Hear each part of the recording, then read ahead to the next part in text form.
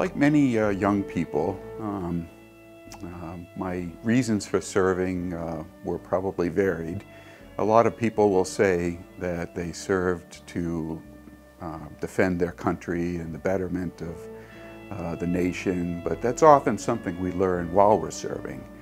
Um, the reasons I um, chose to serve, I grew up in Massachusetts uh, where um, the history of the Revolutionary War was often discussed and it's kind of romantic and, and exciting. Um, I also grew up along the sea um, and so the Navy was my first choice.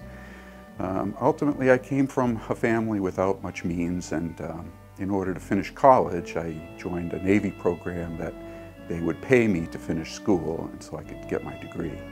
Um, and then I started joining and I only had an initial commitment and um, it's kind of interesting how our perspectives change about why we serve uh, from our initial perspectives, which tend to be a little shallow, like all young people, to being very profound uh, once we're actually serving.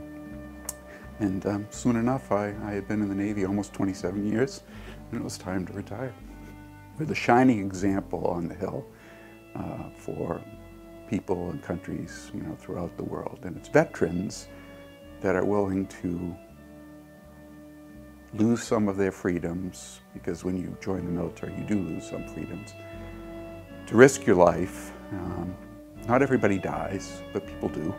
And, you know, um, veterans go out there and they lose their life, they lose their limbs, lose their vision, and um, they're doing it because they think America is a great place.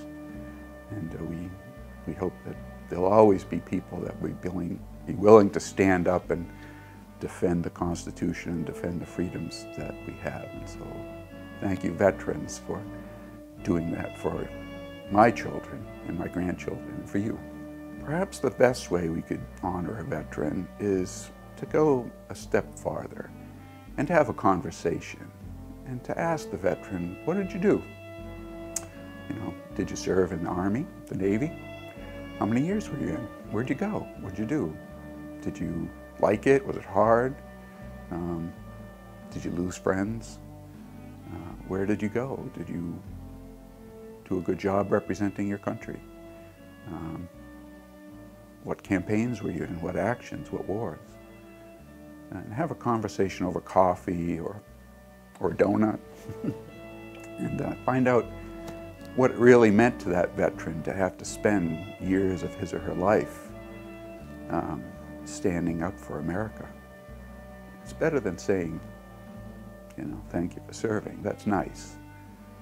But go beyond and say, do you have a few minutes? Let's talk. Tell me about it. That's how I would serve a